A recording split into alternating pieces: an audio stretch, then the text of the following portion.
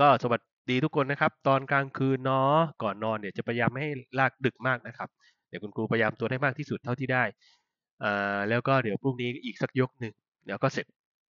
นะครับเพราะสอบแล้วแล้วก็มารีวิวกันนะว่าทำก็สอบได้มากน้อยขนาดไหนนะครับโอเค เรามาไล่ที่แนวข้อสอบเลยเดี๋ยวคืนนี้จะทวนของไหลให้ก่อนนะนะครับเนาะเพราะว่าเรื่องแก๊สน่าจะ น่าจะได้แล้ว หรือเปล่านี่เรามาดูนะเดี๋ยวคุณครูไล่ไปจากอันนี้เดี๋ยวก็ วางกระดาษก่อนนะครับอะเสียงครูอาจจะแบบแปลกๆหน่อยนะครับคุณครูเป็นภูมิแพ้ในวันนี้ ยังไม่หายเลยนะครับ ว่าจะขอเลื่อนพวกเราแต่เออไม่ได้แล้วจะใกล้สอบแล้วนะครับ นะ โอเค ยังไงก็สู้ๆนะลูก นะเสียงอาจจะเพี้ยนเพี้ยนหน่อยอ่าเป็นภูมิแพ้แล้วก็อาจจะเบลอๆนิดถ้าคุณครูคิดเลขผิดด้วยเช็คด้วยนะครับ เพราะว่าภูมิแพ้วันนี้นะเอ้ามาดูข้อเขียนเลยครับนะเดี๋ยวไปเจอข้อสอบนะวันอังคารนะครับ ให้ทำข้อเขียนก่อนเลยลูกนะก็เขียนออกตรงไปตรงมาหนึ่งแมนอมิเตอร์รูปตัว U เดี๋ยวเราจะมาซ้อมตามโจทย์กันนะครับสองแรงลอยตัวอะแรงลอยตัวก็เขียนนะครับการคะแนนเดียวน่าจะเติมลดนิดหน่อยแล้วก็เติมคำตอบ เรื่องอัดไฮดรอลิกตรงไปตรงมา แล้วก็การชั่งวัตถุในของเหลว เดี๋ยวไปดูว่าน่าจะข้อสอบประมาณไหนนะครับ แล้วก็อัตราการไหลนะคุณครูคุณครูไล่ไปก่อนเมโนมิเตอร์มีสูตรเดียวนะลูกนะครับเนี่ยเวลาเราทำข้อสอบก็คือ P ที่ตำแหน่งที่หนึ่งความดันที่ตำแหน่งที่หนึ่งจะต้องเท่ากับความดันที่ตำแหน่งที่สองนะเดี๋ยวเราไปดูว่าตอนที่เราทำข้อสอบมันใช้ยังไง มีสูตรเดียวนี้ ความดันที่ตำแหน่งที่หนึ่งนะครับจะต้องเท่ากับความดันที่ตำแหน่งที่สอง ส่วนเรื่องแรงลอยตัวนะครับทบทวนสูตรกันก่อนที่ต้องใช้ในการทำข้อสอบ แรงลอยตัวหรือว่าแรงประยุงนะครับ ก็คือเราใช้สูตรเป็น FB นะครับ เท่ากับ rho v g อ่าแต่ต้องย้ำก่อนว่า rho คือความหนาแน่น v v rho ตัวนี้เวลาเราแทนในสูตรแรงลอยตัวเนี่ย rho ตัวนี้ต้องเป็นความหนาแน่นของของเหลวนะครับ ที่วัตถุเขาจมอยู่ในของเหลวอ่าตัวนิดนึง ส่วน v v ก็คือเป็นปริมาตรนะของเหลวที่ถูกแทนที่นะครับ หรือเป็นปริมาตรของของเหลวนะครับ ของวัตถุในส่วนที่อะไรลูกที่จมอะครับนะเป็น v จมนะครับอ่าคุณครูแทนไว้ก่อน ว่าในสูตรเนี้ยเวลาเราแทนเนี่ยมันต้องเป็น v จมก็คือ วัตถุที่มันจมในน้ำอะครับ เราต้องคิดปริมาตรส่วนที่จม หรือบางทีเราเรียกอ่าปริมาตรของของเหลวนะครับ อ่าที่ถูกอะไรลูกแทนที่เนาะอ่าตวนกันก่อนนะตวนกันก่อนนะตวนสูตรกันก่อนนะโอเคส่วน g ก็ใช้สิบครับอ่าสูตรแรงลอยตัวมีสูตรเดียวนะ ในการทำข้อสอบ ต่อไปเครื่องอัดไฮดรอลิกก็จะใช้กฎของพาสคาลนะครับนะกฎของพาสคาลมีสูตรเดียวครับอ่าจริง ๆ มันก็คือเอาแรงหารด้วยพื้นที่นะครับ พื้นที่ขนาดเล็กเท่ากับน้ำหนักของวัตถุอันใหญ่ ลูกสูบลูกใหญ่ หารด้วยพื้นที่ขนาดใหญ่โอเคนี่ก็คือกฎของปาสคาลเครื่องอัดไฮดรอลิกก็ใช้สูตรนี้เนาะโอเคอ่า A ก็คือพื้นที่นะลูกอ่าอันนี้คือแรงที่เครื่องออกนะครับ อันนี้ก็ไปดันวัตถุนะเดี๋ยวก็ไปทำโจทย์กันตีละอย่างเนาะเราซ้อมก็เขียนกันก่อน ต่อไปการชั่งวัตถุในของเหลวนะครับนะการชั่งในวัตถุของของเหลวน้ำหนัก ของวัตถุก็จะหายไปคอนเซปต์เดียวกันการชั่งวัตถุในของเหลวก็คือน้ำหนักที่หายไปเท่ากับแรงลอยตัวดังนั้นแรงลอยตัวเท่ากับน้ำหนักที่ชั่งในอากาศนะครับเราวัตถุไปชั่งในอากาศ ลบด้วยน้ำหนักที่ชั่งในของเหลว เราก็จะเรียกแรงลอยตัว น่าจะไม่พ้นสูตรนี้ตอนที่ทำข้อสอบก็เขียนนะครับสำหรับข้อที่ 4 แล้วก็ข้อที่ 5 อัตราการไหลมีสูตรเดียวครับนะการไหลของของเหลวในท่อ ที่มีขนาดไม่เท่ากันในท่อที่มีขนาดไม่เท่ากันก็จะเป็น A1 V1 นะครับ V นี้ไม่ใช่ปริมาตรนะลูก เป็นความเร็วของของไหลหรือว่าตาของไหลที่มันวิ่งในท่อนะครับ เท่ากับพื้นที่หน้าตัดอันที่สองนะครับ แล้วก็คูณด้วย V2 โอเค อ่า นะ เป็นไงบ้างครับ มีใครจำสูตรทั้งหมดนี้ได้แล้วบ้างไหนกดหัวใจหน่อยสิหรือว่าคุ้นคุ้นสูตรก็ได้ในข้อเขียนอ่าถ้าใครคุ้นคุ้นแล้วก็กดหัวใจหน่อยโอเคอ่าโอเคคุณคุณก่อนยังจำไม่ได้ไม่เป็นไรคุณครูช่วยเขียนละทีนี้เดี๋ยวครูจะเลือกข้อสอบมาให้พวกเราลองทำดูนะ ว่าถ้ามันเป็นข้อเขียนเนี่ยมันจะเริ่มต้นทำยังไงนะครับ หมายเหตุนี่คือออกหนึ่งข้อนะออกหนึ่งข้ออืมข้อสอบ คุณครูในห้องเรียนหลายข้อเหมือนกันนะเนี่ยนะครับโอเคเราไปทำข้อสอบกันเลยนะครับนะก่อนจะทำข้อสอบเดี๋ยวคุณครูไปทวนสูตรกล่องไหลไล่ไปตั้งแต่ทีแรกเลยนะครับนะเพราะว่าให้ชีตมาแล้วได้ใช้ประโยชน์นิดนึงครูจะทำให้แต่ไม่เคยได้สอนเลยนะฮะไม่ได้ว่างเลย ไม่ได้ว่างตรงกันเนาะนะความสูตรความหนาแน่นก็คือโรนะครับ เท่ากับมวลหาด้วยปริมาตรนะลูกนะนี่คุณครูย้ำนะ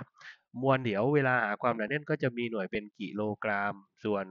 ปริมาตรก็จะมีหน่วยเป็น m กำลังสามหรือเรียกว่าลูกบาศก์เมตร นี่คือสูตรความหนาแน่นนะครับ ผ่านนะทุกคน โอเค ทีนี้คุณครูก็จะต้อง ความหนาแน่นสัมพัทธ์มันไม่ออกก็สอบหรอกนะครับ แต่คุณครูตัวนิดนึงก็ได้นะ เป็นความรู้ทั่วๆไป ความหนาแน่นสัมพัทธ์ก็คือเป็นความหนาแน่นนะครับ ที่เทียบกับความหนาแน่นของน้ำครับครูเขียนเลยก็ได้หรือตวนไปหน่อย ความหนาแน่นสัมพัทธ์ นะครับก็คือเป็นเป็นความหนาแน่นของวัตถุครับ วัตถุอะไรก็ได้นะไปหารด้วยความหนาแน่นของน้ำนะครับนะเราก็เลยเรียกความหนาแน่นของความหนาแน่นสัมพัทธ์นะครับนะดังนั้นคุณครูไปทวนตรงนี้สิ่งที่ต้องจำนะครับโอเคนะต้องจำไปเพราะก็ไม่บอกเรานะครับ ก็คือความหนาแน่นของน้ำถ้ามีหน่วยเป็นกรัมก็จะเป็น 1 กรัมต่อลูกบาศก์เซนติเมตรนะครับ นะน้ำจะมีความหนาแน่นมากที่สุดที่อุณหภูมิ 4 องศาเซลเซียสโอเคนะทุกคนไม่ใช่ศูนย์องศาเซลเซียสนะลูก แต่ถ้าเป็นหน่วยกิโลกรัมนะครับตามจากหน่วยกรัมเป็นกิโลกรัมนะครับ ให้คูณ 1,000อ่าเนาะก็จะเป็นความหนาแน่นในหน่วยกิโลกรัมต่อลูกบาศก์เมตรนะดังนั้นทำไม่ยากเนาะถ้าเปลี่ยนจากหน่วยกรัมต่อลูกบาศก์เซนให้เป็นกิโลกรัมต่อลูกบาศก์เมตร ให้คูณ 1,000 ตอนที่เปลี่ยนความหนาแน่น ถ้าตามกลับกันก็ให้หาร 1,000 นะครับไอ้ทุกคนเคลียไหม ถ้าเคลียความหนาแน่นของน้ำแล้วกดหัวใจหน่อย โอเค คุณครูไปต่อนะอะสมมุติคุณครูพามาซ้อมสักข้อหนึ่งนะครับปลอดมีความหนาแน่นเท่ากับ 13 กรัมต่อลูกบาศก์เซนติเมตร เออ ถ้าคุณครูทำเป็นกิโลกรัม คุณครูก็แค่เอา 13.6 คูณ 1,000นะ แล้วก็คิดเลข ก็จะออกมาเป็นหน่วยกิโลกรัมต่อลูกบาศก์เมตรเนี่ยคิดง่ายๆแบบนี้เลย ตอนเปลี่ยนความหนาแน่นนะครับ อันนี้คุณครูก็ได้เป็น 1 3 6 เติม 0 2 ลูกนะครับ นี่ออกมาแล้วนะ 13,600 กิโลกรัมต่อลูกบาศก์เมตร นี่คือความหนาแน่นของปลอดเห็นไหมนะเนาะเราก็แก้คูณ 1,000 เข้าไป เปลี่ยนจากหน่วยกรัมต่อลูกบาศก์เซนให้เป็นกิโลกรัมต่อลูกบาศก์เมตรนี่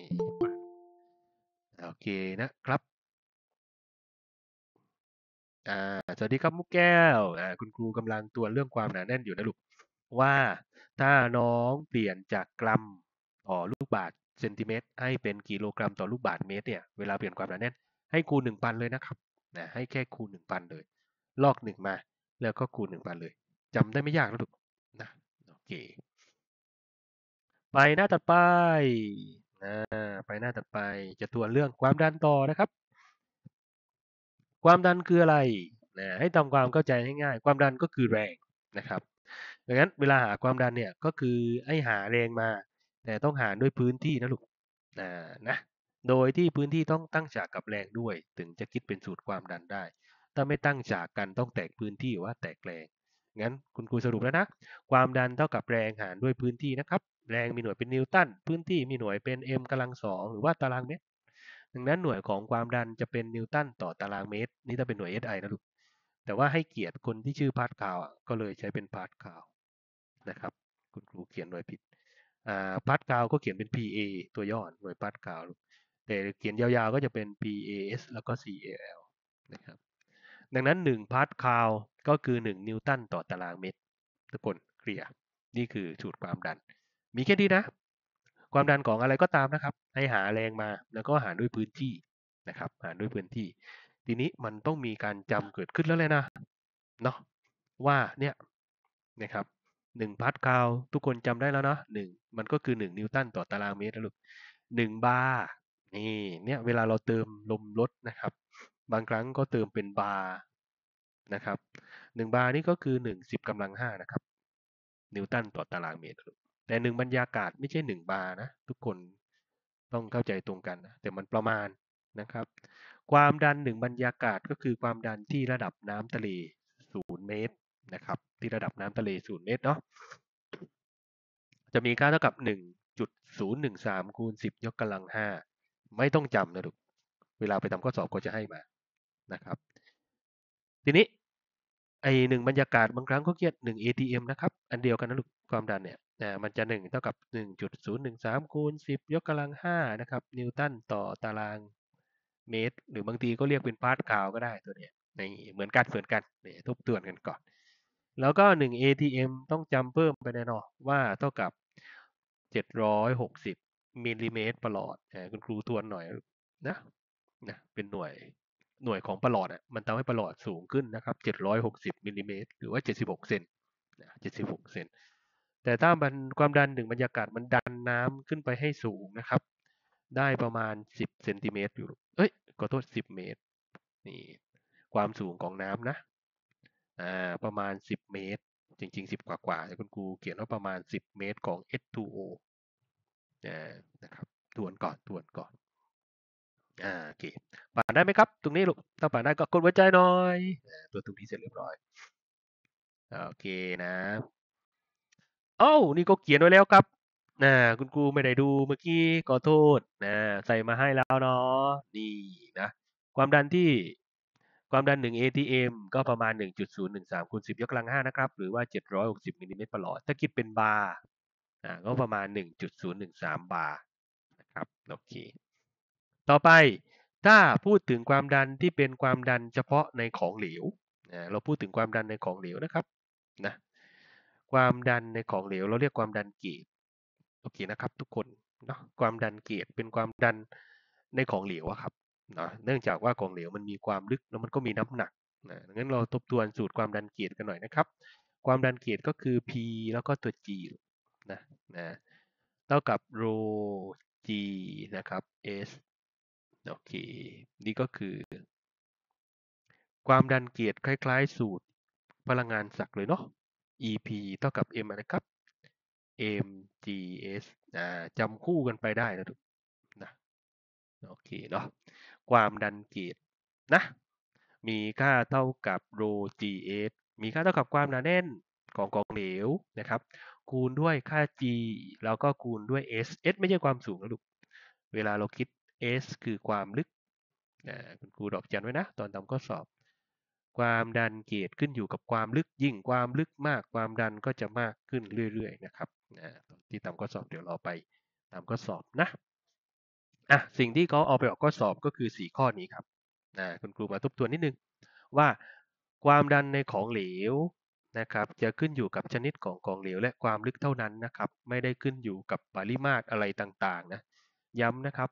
ความดันของของเหลวขึ้นอยู่กับชนิดของของเหลว เพราะว่าของเหลวแต่ละชนิดมีความหนาแน่นไม่เท่ากัน แล้วก็ขึ้นอยู่กับความลึกเท่านั้น ความดันของของเหลวไม่ได้ขึ้นอยู่กับภาชนะหรือปริมาตรนะถ้าก็ถามว่าข้อใดต่อไปนี้ถูกต้องเนี่ยคุณครูต้องย้ำก่อน ทีนี้ความลึกเดียวกันความดันก็จะมีค่าเท่ากันหมดเลยย้ำนะครับ ที่ความลึกเดียวกันในกล่องเหลวครับ ไม่ว่าตรงไหนแหละ แต่วัดแล้วมันลึกเท่ากันนะ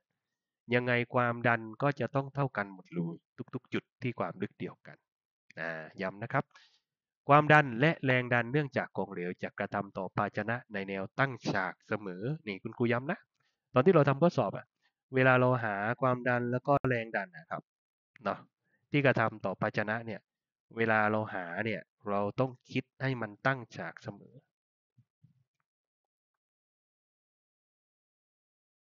นะครับ แค่นี้ที่คุณครูจะตรวจให้เรื่องความดัน คุณครูผ่านได้นะโอเคส่วนคำศัพท์ถัดไปที่เราจะทวนกัน เดี๋ยวเราจะไปเจอในข้อสอบนะครับ ความดันนะครับสมบูรณ์ห้ามอ่านว่าสมบูรณ์ มันคือสมบูรณ์นะครับ ก็มันเป็นความดันที่รวมความดันบรรยากาศเข้าไป เราก็เลยเรียกความดันนะครับสมบูรณ์ ซึ่งปกติเขาก็จะเขียนเป็น P เฉยๆหรือบางครั้งในหนังสือนอนเส้นก็เขียนเป็น P ศูนย์นะครับ นะความดันสมบูรณ์ก็คือความดันบรรยากาศ บวกด้วยความดันเกจนะครับจริงไหมนะทีนี้ถ้าคุณครูแตกสูตรเนี่ยความดันบรรยากาศโจทย์ก็ต้องให้มานะครับนะถ้าใครจำได้ดีก็ดีครับ ถ้าจำไม่ได้ก็ไม่เป็นไร ประมาณ 1.013 คูณ 10กำลัง 5 นี่คือความดันบรรยากาศ บวกด้วยความดันเกจความดันเกจคือโร gs เราก็ต้องไปคำนวณเอานะครับ ว่าวัตถุนั้นอยู่ลึกจากน้ำเท่าไหร่นะครับ เราก็หาความดันเกจได้แล้วก็ไปบวกความดันบรรยากาศ ด้วยเหตุผลว่า เวลาคุณครูมีถังน้ำอยู่ครับนะแล้วถังน้ำคุณครูเปิดฝาอยู่ เห็นไหมอ่านี่คือน้ำนะ นี่คือน้ำนะนะดังนั้นเนี่ยอากาศข้างนอกเนี่ยมันจะดันอากาศข้างนอกมันจะดันผิวน้ำอยู่แล้วนะครับ เพราะว่าอากาศมันอยู่ข้างนอกลูกอากาศมันก็เป็นของเหลวไง ซึ่งสีส้มนี้ก็คือความดันบรรยากาศ PA นะทีนี้น้องไปวางวัตถุอยู่ในของเหลวหนึ่งก้อนอไปวางวัตถุอยู่ในของเหลวหนึ่งก้อน เวลาน้องจะหาความดันเกจน้องก็ต้องวัดจากผิวลงมาด้านล่างนะครับ ว่ามันลึกเท่าไหร่ นี่ก็คือตัว S อ่าน้องวัดมาปุ๊บที่ตำแหน่งตรงนี้ ที่ความลึกตรงนี้ ความดันที่ได้เราเรียกความดันเกจนะถ้าเราเอา PG มาบวก PA ปุ๊บเราจะเรียกความดันสมบูรณ์ นะครับ เราจะเรียกความดันสมบูรณ์ ทุกคนเคลียร์คอนเซปต์ตรงนี้ไหม ถ้าเคลียร์ก็กดหัวใจหน่อยอ่าโอเคอ่าตรวจแล้วนะตรวจความดันสูงครับขอถามอีเลยลูกรอกบได้ไหมได้ครับนะอะเดี๋ยวคุณครูเอาตัวอย่างจริง ๆ เลยดีกว่านะจากตรงนี้นะครับ คุณครูบอกว่าของเหลวนี้ มีความหนาแน่นเท่ากับ 1,000 นะครับ กิโลกรัมต่อลูกบาศก์เมตร วัตถุก้อนนี้อยู่ที่ความลึกนะครับ 10 เมตรอ่าอยู่ที่ความลึก 10 เมตรนะ จงหาความดันสมบูรณ์ที่กระทำต่อวัตถุก้อนนี้ จงหาความดันสมบูรณ์ที่กระทำต่อวัตถุก้อนนี้เขาให้หาความดันสมบูรณ์นะครับ P สมบูรณ์นะถ้าคุณครูจะหา P สมบูรณ์ เราจะย่อเป็น P ศูนย์นะครับนะ P ศูนย์เวลาเขาถามครูอย่างนี้หาความดันสมบูรณ์คุณครูก็ต้องหาจากความดันบรรยากาศ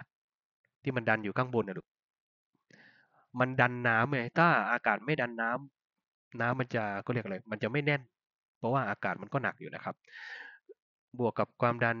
ที่มันมาทำอยู่ตรงนี้อ่านั้นความดันบรรยากาศ จทย์จะให้มานะครับ ประมาณ 1.013 คูณ 10กำลัง5นี่คุณครูได้แล้ว คุณครูก็บวกความดันเกจไปนะการคำนวณความดันเกจห้ามคิดมากนะมีอยู่สูตรเดียวก็คือ PG นะ G ก็ย่อมาจากเกจนะ ก็เอาโร G แล้วก็ S อย่างก็เนี้ยคุณครูจะคำนวณความดันเกจมันอยู่ลึก 10 เมตรใช่ไหมแล้วก็ความหนาแน่นของวัตถุคือ 1,000 จริงๆ มันอยู่ในน้ำอะเนาะ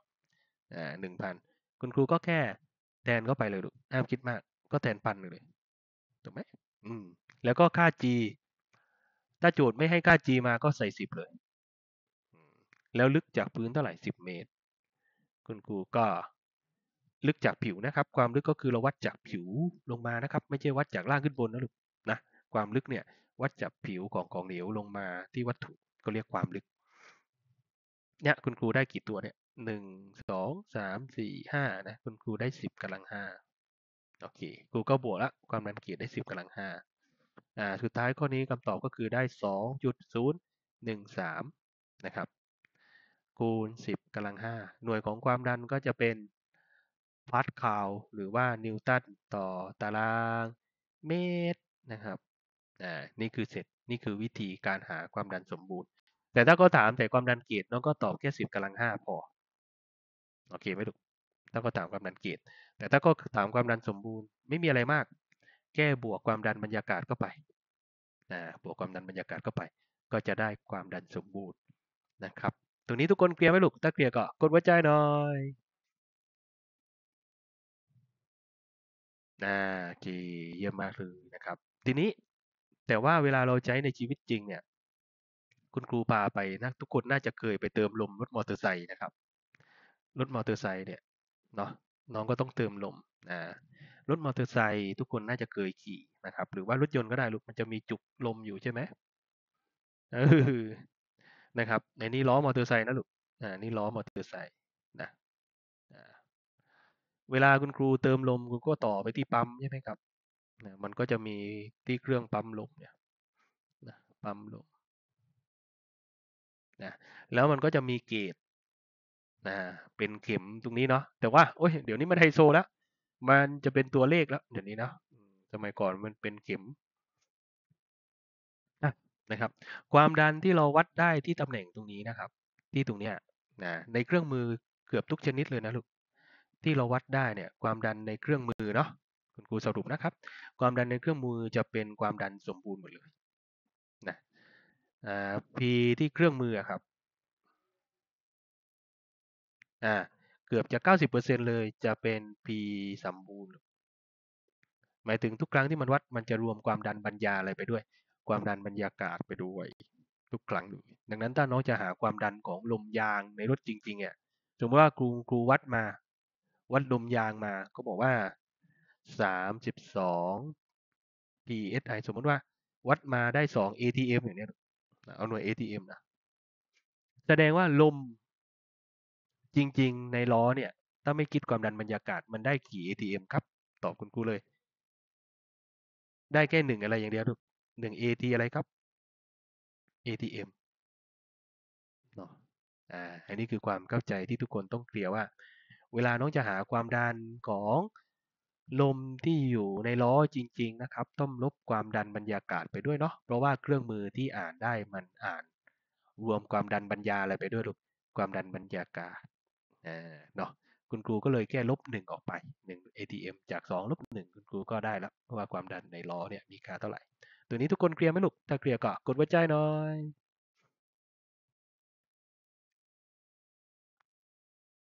อุ๊ยไม่ค่อยเคลียร์ใช่ไหมฮะไม่ค่อยเคลียร์ใช่ไหมลูกเอ่อเอาอย่างนี้ก่อนมันไม่ออกข้อสอบหรอกแต่เผื่อมันออกนะคุณครูเป็นห่วงจริง ๆ ในวิชาเคมีมันเคยออกนะข้อสอบนะครับ ข้อสอบสอบเข้าคุณครูเคยเห็น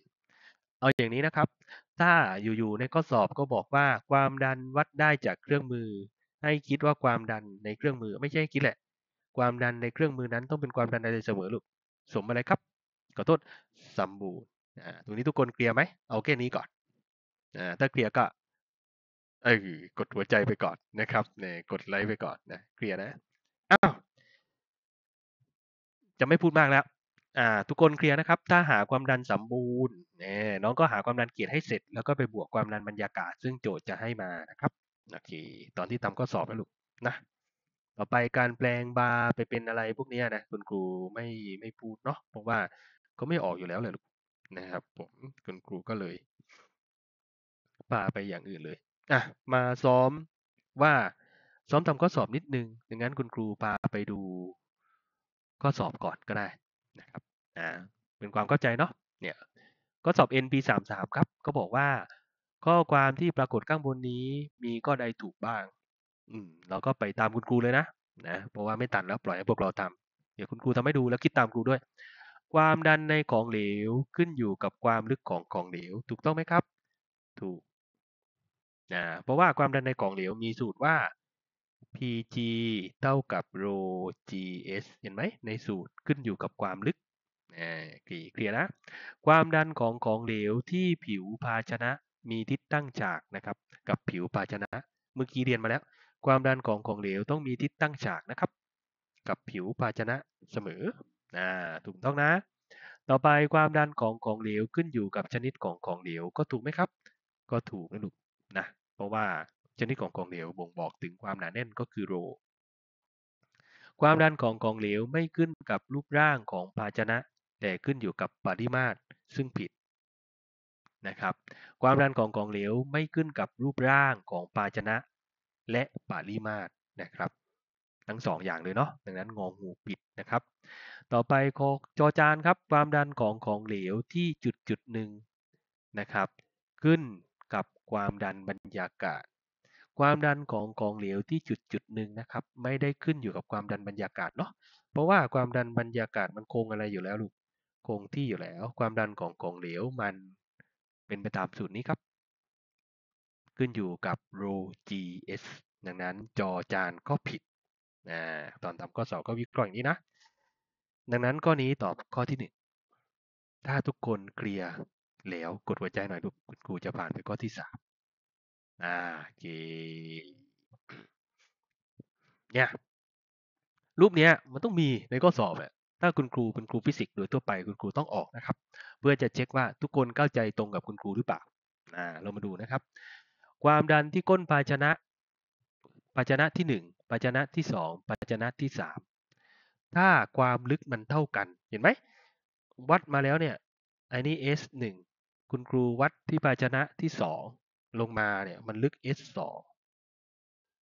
นะครับ แล้วก็ภาชนะที่สามคุณครูให้ลึก S สามแต่วัดแล้วมันลึกเท่ากันนะ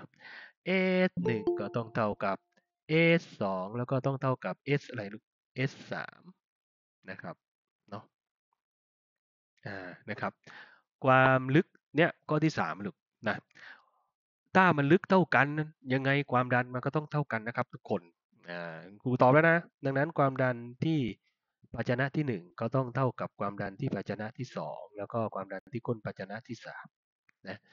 ตรงนี้ทุกคนเคลียร์ concept นะครับว่าถ้าลึกเท่ากันความดันต้องเท่ากันโอเคไหมตรงนี้เคลียร์ไหมลูกถ้าเคลียร์ก็ กดหัวใจหน่อยอ่าโอ เคเนี่ยแกอยากให้เข้าใจตรงเนี้ยพอทำคำข้อสอบแล้วก็ชิวๆแล้ว ต่อไปแรงบ้างเลยอ่าน้องดูนะครับ P เท่ากับ F ส่วน A แรงนั้นขอโทษความดันนั้น มันเท่ากับแรงหารด้วยพื้นที่นะครับนะความดันเท่ากับแรงหารพื้นที่ ถ้าคุณครูหาแรงคุณครูต้องเอาความดันไปคูณกับพื้นที่นะครับ พื้นที่อย่างโจทย์ข้อเนี้ย ก็บอกว่าโจทย์บอกว่าภาชนะเหมือนกันเลยแล้วก็พื้นที่ฐานเท่ากันอะตอบครูให้ชื่นใจหน่อย พื้นที่ฐานเท่ากัน แสดงว่าแรงที่ก้นภาชนะเท่ากันด้วยไหมครับ เท่ากันด้วยไหมลูกเท่ากันด้วยครับ เพราะว่า b มันเท่ากันแล้ว a มันก็ต้อง a มันเท่ากันแล้ว f มันก็ต้องเท่าด้วยนะข้อนี้พอดีว่าฐานมันเท่ากันหมดเลยสามรูปเนี้ยดังนั้นถ้าฐานเท่ากันแรงก็ต้องเท่ากันนะครับ f 1เท่ากับ f 2เท่ากับ f อะไรลูก f 3 เนาะแรงดันของของเหลวที่ก้นภาชนะนะครับ มีค่าเท่ากันด้วยนะ ต่อไปแรงดันที่ภาชนะกดพื้นนะครับ แรงดันที่ภาชนะตั้งก้อนเนี่ยกดพื้นนี่มันจะไม่เท่ากันแล้ว แรงดันที่ภาชนะกดพื้นมันจะพูดถึงน้ำหนัก น้ำหนักของน้ำอะครับ ทั้งหมดเลย ดังนั้นเราก็ต้องดูว่าอันไหนปริมาตรเยอะสุด นี่เห็นไหม น้ำหนักของน้ำก็จะต้องอันที่มากที่สุดคุณครูเขียนเป็นหมายเลขแทนนะครับ หมายเลขหนึ่งต้องมากกว่าหมายเลขสองแล้วก็ต้องมากกว่าหมายเลขสามทุกคนเคลียนะ ถ้าเจอคำศัพท์คำนี้นะลูก แรงดัน ที่ภาชนะก็คือคิดตั้งภาชนะเลยกดพื้นมันก็คือน้ำหนัก ของน้ำทั้งหมดนะครับ ดังนั้น อันที่มีมวลเยอะมันก็ต้องมีแรงเยอะนะครับ มันก็เลยไปแบบนี้นะ มันต้องตอบแบบนี้นะลูกต่อไปก็ที่ 4 ความดันที่ภาชนะกดพื้นความดันที่ภาชนะกดพื้นความดันที่ทั้งภาชนะนะครับกดพื้น เนื่องจากว่าพื้นที่เท่ากันนะครับ แต่ว่าแรงทั้งหมดอะมันไม่เท่ากันแล้วนะดังนั้นก็ตอบตามข้อสามด้วย นี่ข้อสอบนี้ทำให้เราเข้าใจคอนเซปต์มากขึ้นนะครับ แล้วก็ตอนสุดท้ายครับ น้ำหนักของกองเหลวในแต่ละภาชนะเป็นไงลูกอันนี้ปริมาตรเยอะกว่าน้ำหนักก็มากกว่านะครับ อันนี้ปริมาตรมากกว่านี้ก็น้ำหนักมากกว่า ก็ก็เลยไล่ว่าไล่ตามนี้ทุกคนเคลียร์ไหมลูกถ้าเคลียร์ก็กดหัวใจหน่อยนะเนาะอันนี้โจทย์ดีมากเลยอะเนาะน่าจะเป็นข้อเขียนให้เราได้นะ อะทีนี้ ลองซ้อมทำข้อนี้กันสักนิดนึงเนาะแล้วคุณครูจะพาไปดูอย่างอื่นนะนี่ก็บอกว่าอะไรครับจุดที่อยู่ใต้ผิวน้ำลึก 5 เมตร นี่ก็คือ S ในสูมีความดันสมบูรณ์เท่าไหร่ ก็ถามว่า P ศูนย์เท่าไหร่นะครับ ก็ตามความดันสมบูรณ์เนาะคุณครูแทนแล้วนะครับ ความดันสมบูรณ์น้องต้องเอาความดันบรรยากาศบวกด้วยความดันเกจนะหรือ PA บวกด้วย rho GS นะครับอ่าเมื่อความดันบรรยากาศมีค่าเท่ากับอ่าขอโทษ เมื่อความดันบรรยากาศมีค่าเท่ากับความดันเนื่องจากน้ำลึก 10 เมตร อืมนะ ความดันบรรยากาศรอบนี้ก็บอกว่าเท่ากับน้ำลึก 10 เมตร อ่า ความดันน้ำลึก 10 เมตร ก็คือความดันเกจด้วย แต่ต้องคิดที่ 10 เมตร ที่คิดที่ 10 เมตร งั้นคุณครูแทนสูตรตรงเนี้ยเข้าไป เออ ก็เป็น rho gs เหมือนกัน แต่ s ตรงนี้ต้องคิดที่ 10นะลูกคนละ s กันนะ กับแอนตัวนู้นนะ บวกด้วย rho gs อีกตัวหนึ่งนะครับ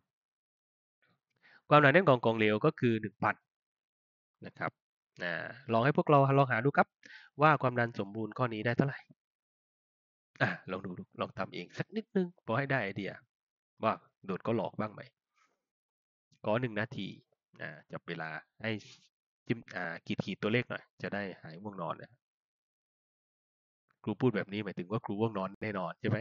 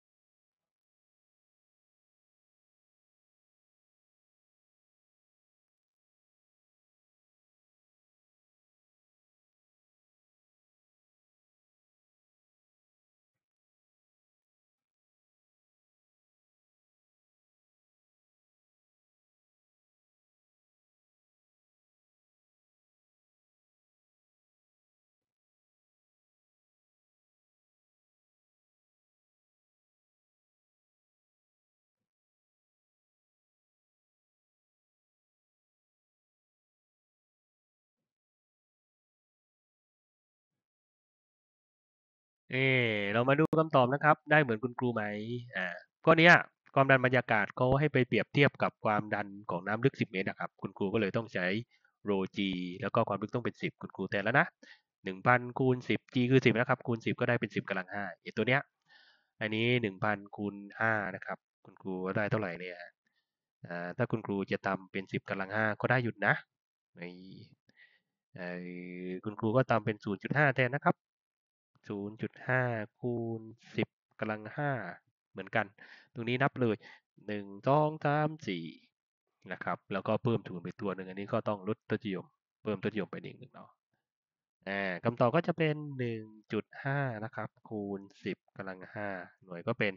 นิวตันต่อตารางเมตร หรือว่าปาสคาลนะข้อนนี้ทุกคนเคลียร์ไหมลูก ถ้าเคลียร์ก็กดหัวใจหน่อย อืมแต่ต้องมีการถามก็ต้องถามทันทีเลยเนาะ สองข้อนี้คุณครูคิดว่าทุกคนเคลียร์ concept เรื่อง ความดันสมบูรณ์กับความดันเกจเรียบร้อยแล้วนะครับเนาะนะห้ามคิดมากนะครับ ความดันสมบูรณ์อ่าครูพูดผิดละความดันสมบูรณ์ก็แค่เอาความดันบรรยากาศบวกด้วยความดันเกจเวลาคิดความดันเกจเราต้องดูว่าน้ำมันลงลึกจากผิวน้ำเท่าไหร่นะ ตัว S ตัวนี้นะครับโอเคอ่านได้แล้วแหละนะอย่างนี้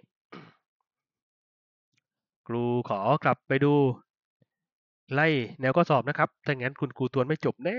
ถ้าไปไปไปตามแนวข้อสอบเนี่ยอ่าคุณครูขอกลับไปที่แนวข้อสอบนะครับ ไปที่แมนอมิเตอร์ก่อนลูก เดี๋ยวเราจะไปทำแนวแมนอมิเตอร์หนึ่งข้อนะครับอ่าโจทย์อัตนัยอ่า concept แมนอมิเตอร์ก็คือ p 1 เท่ากับ p 2อ่าอย่าไปสับสนตอนม .4 นะม .4 นี่คือโมเมนตัมนะครับโมเมนตัมตัว p โมเมนตัมแต่ตอนนี้เราเรียนความดันอยู่นะ p คือ pressure นะ อ่า คุณครูจะพาไปดูแมนอมิเตอร์หนึ่งข้อนะครับ แล้วเรามาดูนะว่า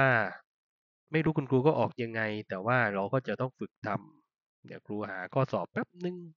จะทำข้อไหนดีว่าแมนอมิเตอร์ ให้น้องเปิดไปหน้าที่แปดครับอ่าเรามาดูแนวข้อสอบนี่เก่งข้อสอบกันหน่อยสิ อ่า นี่คือข้อเขียนว่าข้อที่ห้าหน้าที่แปดครับ อารมณ์น่าจะประมาณนี้ครับ นี่คือข้อเขียนอ่าข้อเขียนข้อที่หนึ่งอะเรามาดูนะ ว่าเดี๋ยวพอไปเจอก็เกียรติเนี่ย พอเจอแมนอมิเตอร์เนี่ยมานอมิเตอร์ก็คือหลอดแมนอมิเตอร์หรือมานอมิเตอร์ก็คือหลอดตัวยูครับเนี่ยตัวเนี้ยเขาเรียกแมนอมิเตอร์หรือก็คือ นึกถึงท่อ PVC ก็ได้ครับ แล้วก็งอให้เป็นตัวยูแบบนี้แล้วก็ใส่ของเหลวเข้าไป เนี่ยก็เรียกแมนอมิเตอร์แล้วนะครับเราจะหาความดัน มา เราเริ่มกันเลย ว่าเวลาเจอโจทย์เราจะทำยังไงนะครับ หลอดแก้วตัวยูนะเห็นไหมหลอดแก้วตัวยูก็คือแมนอมิเตอร์นะครับ ตอนล่างมีประหลอดที่มีความหนาแน่นเท่ากับเท่านี้นะครับอ่าคุณครูเขียนแล้วนะเป็นความหนาแน่นประหลอดนะลูกก็คือตอนล่างก็คือตรงนี้นะ สีเขียวก็คือมีประหลอดอยู่ ความหนาแน่นคือสิบสามจุดหกคูณสิบยกกำลังสามกิโลกรัมต่อลูกบาศก์เมตรไปกันต่อนะครับ แล้วก็ในข้างหนึ่งนะครับ มีของเหลวอีกชนิดหนึ่งไม่รู้ของเหลวอะไรวะนะ แต่ว่าสูงนะครับแปดเมตร เอ้ยแปดเซนของเหลวสูงแปดเซนนะของเหลวจะเป็นทีนี้ ระดับบนสุดของประหลอดทั้งสองนะครับ นะระดับบนสุดของประหลอดทั้งสองตรงนี้ก็บอกว่าต่างกันเท่าไหร่ลูกห้าเซนติเมตรตามรูปเลยก็เขียนผิดไหมเนี่ย ระดับบนสุดของประหลอดทั้งสองระดับบนสุดของประหลอดทั้งสองระดับบนสุดของประหลอดทั้งสองอะต่างกัน5เซนติเมตรก็คือนี่ประหลอดอยู่ตรงนี้นะครับ กับอยู่ตรงนี้นะลูกก็บอกว่าตรงเนี้ยต่างกัน5เซนคำถามคือจงหาความหนาแน่นของของเหลว โอเค ทีนี้คุณครูตามพวกเราก่อน มีใครที่อ่านโจทย์แล้วไปไม่ถูกบ้างว่าจะเริ่มต้นทำยังไงในกดไลค์หน่อยสิถ้าไปไม่ถูกเลย คุณครูจะได้รู้ว่าต้องอธิบายละเอียดไหมอ่าโอเคนะครับนะแต่อ่านโจทย์เรียบร้อยนะ เวลาเจอมานอมิเตอร์ก็ซูมเข้าไปนะแล้วเราดูระดับที่ต่ำสุด concept มีแค่นี้นะลูกหนึ่ง คุณครูเขียนเป็นข้อไว้ก่อนนะ ให้ดูจุดต่ำสุด ครูจะเขียนยังไงดีอะตำแหน่ง ให้ดูตำแหน่ง รอยต่อลูก รอยต่อของของเหลวนะอ่าที่จุดที่เป็นไงครับ ที่ต่ำสุดอ่าเป็นระดับเอาไว้อ้างอิง โอเค อ่าความหมายยังไงข้อที่หนึ่งนี้คือต้องดูนะครับ ต้องมีของเหลวชนิดนี้กับประหลอด แต่ว่าจุดที่เป็นรอยต่อระหว่างของเหลวบนกับประหลอดที่อยู่ด้านล่างเนี่ยอยู่ตรงนี้ ดังนั้นคุณครูจะต้องเลือกตรงนี้เป็นตำแหน่งอ้างอิงอ่านี่คือตำแหน่งอ้างอิงได้แล้วนะ นี่คือ step ที่หนึ่งอ่าทุกคนเคลียร์ไหมลูก step ที่หนึ่งหาตำแหน่งอ้างอิงอ่าถ้าเคลียร์แล้วก็กดหัวใจหน่อย อ่าโอเค ทีนี้ที่ตำแหน่งอ้างอิงเนี่ยเนื่องจากว่ามันมีความลึกเท่ากันถูกไหมครับนะพอมันมีความลึกเท่ากันคุณครูเรามี concept อยู่แล้วว่า ถ้าความลึกเท่ากันความดันต้องเท่ากันนะดังนั้นตรงนี้ก็คือจุด A ตรงนี้คุณครูให้เป็นจุด B นะเราก็มีการความ concept แค่นี้ลูกเนี้ยเรื่องของเหลวเนี่ยนะครับ ก็คือข้อที่สองก็คือตำแหน่ง A ที่เราสมมุติขึ้นมาความดันมันต้องเท่ากับตำแหน่ง B เนี่ยเรื่องแมนอมิเตอร์ concept มีแค่นี้นะครับความดันที่จุด A มันต้องเท่ากับที่จุด B เพราะว่ามันอยู่ที่ความลึกเดียวกัน มันอยู่ที่ความลึกเดียวกัน แล้วครูก็แทนสูตรเลย PA เท่ากับ PB นะทีนี้เราดูนะครับ หลอดนี้มันเปิดอยู่ มันจะมีความดันบรรยากาศด้วยนะ PA ตรงนี้ด้วยนะทุกมีความดันบรรยากาศ PA นะครับ แต่ว่าซ้ายกับขวามันเท่ากัน ดังนั้นคุณครูก็เลยไม่แทน PA เข้าไป นะครับนะคุณครูก็เลยตัดทิ้งเลย เพราะว่าหลอดเปิดทั้งสองด้านนี่ครูไม่แทนนะ ทีนี้มาดูที่ PA นะครับ มาดูที่ PA นี่ของเดี๋ยววันนี้เราไม่รู้นะเขาน้องก็ดูความลึกเขาครับ ความลึกเขาแปดเซนจุดเนี้ยมันมีความลึก8เซนแล้วโดนของเหลวดันมา มันจะเป็นความดันเกตนะครับ คุณครูก็แทนนะ สีม่วงสีม่วงสีม่วง ก็จะต้องเป็นโร GH นะครับนะของของเหลวที่เราไม่รู้นะก็จะเป็นที่8เซนติเมตรเนาะนะคุณครูทดไว้ก่อนทดสูตรไว้ก่อนห้อย 8 ที่8เซนติเมตรนะครับนะของเหลวที่เราไม่รู้กับอีกฝั่งหนึ่งให้น้องมาดูที่จุด B นะที่เรามาร์กไว้ มันอยู่สูงมันมีของเหลวดันอยู่นะครับนะทำให้เกิดความดันเกียรที่ความสูงแค่ 5 เซนนะกูก็แทนสูตรเลยมันเป็นของเหลวไงก็รู g s ที่5เซนนะแต่ฝั่งนี้ต้องเป็นประหลอดนะลูกโรประหลอดก็ต้องเป็นเมอร์คิวรีนะ Hg โจทย์ข้อนี้ก็หาความหนาแน่นของของเหลวที่เราไม่รู้ก็คือตัวนี้นะคุณครูบอกไว้แล้วนะอ่าทีนี้เราตั้งเสร็จปุ๊บเราก็ตัด g ตัด g เพราะว่ามัน g เหมือนกันนะครับเนาะแล้วก็พอดีว่าไม่ต้องทำหน่วย SI ก็ได้นะครับ เพราะว่ามันเป็นมันเป็นเครื่องหมายเท่ากับเลยเห็นไหมเซนกับเซนมันตัดกันหมดนะ คุณครูก็ย้ายย้ายหรือว่าคุณครูแทนเลยเนาะอะคุณครูค้างไว้แค่นี้เดี๋ยวให้เราหาความหนาแน่นของของเหลว สีชมพูตรงนี้นะครับ ให้คุณครูหน่อยอะคุณครูให้คิดสักสองนาทีครับลองทำเองดีกว่าใบใจกว่า นี่ครูทำให้หมดไม่ผ่านนะโอเคลองลอกแล้วลองแทนดูนะลูกว่าได้คำตอบเท่าไหร่เดี๋ยวพาไปทำสักสองข้อ จะได้รู้ว่าก็เกียรติมันจะประมาณเนี้ยนี่เราก็ทำได้ง่าย ๆ เลย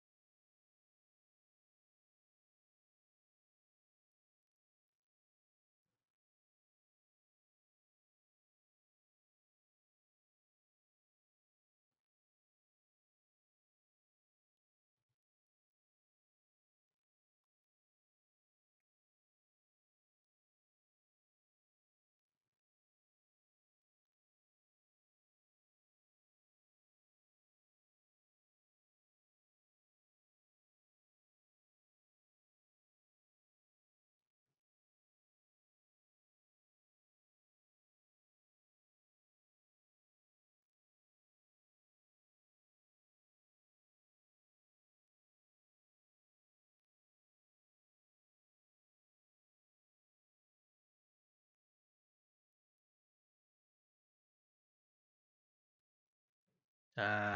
นะคิดว่าได้คำตอบเท่ากันไหมครับนะถ้าน้องแทนหน่วยเซนก็ต้องเซนเหมือนกันนะลูกซ้ายขวาหน่วยมันตัดกันหมดนะแต่ว่างั้นคำตอบก็คือได้เท่านี้นะครับอ่ามีใครได้เท่ากันบ้างถ้าเท่ากันแล้วก็กดหัวใจหน่อยโอเคอ่ามีแค่สองสเต็ปเดี๋ยวครูลองให้ทำเองหนึ่งข้อโดยที่ครูไม่ช่วยอะไรเลยนะครับเออดูซิทำได้แน่นอนอยู่เลยเดี๋ยวครูหาก่อนครูหาก่อน ครูหาข้อสอบก่อนลองให้ทำดูสิถ้าเป็นรูปตัว U แบบพิเศษไม่มีพิเศษอะไรมาก ขอเลือกหน่อยนะครับโอ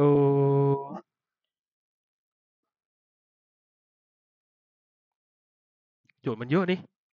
จริงๆ เตรียมไว้สอนพวกเรานั่นแหละ แต่ว่าเออนั่นแหละดู